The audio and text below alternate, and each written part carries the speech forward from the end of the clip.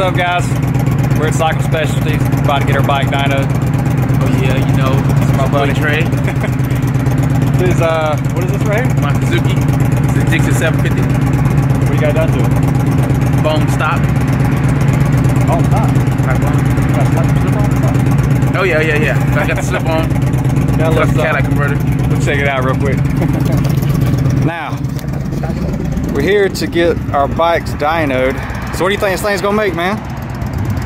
It's gonna be the best one out of everybody. So you know, So what's he gonna make, about 400? about 400. About 400? Yeah. I don't know about that. Honestly, what do you think she's gonna make? Not sure? Not sure. This is my CBR. Uh, it's a 2015, 2016, I think. Uh, it's pretty much a stock bike. It's got a full exhaust on it. Um, basically like a super stock built by KWS. Oh, they're making noise over there.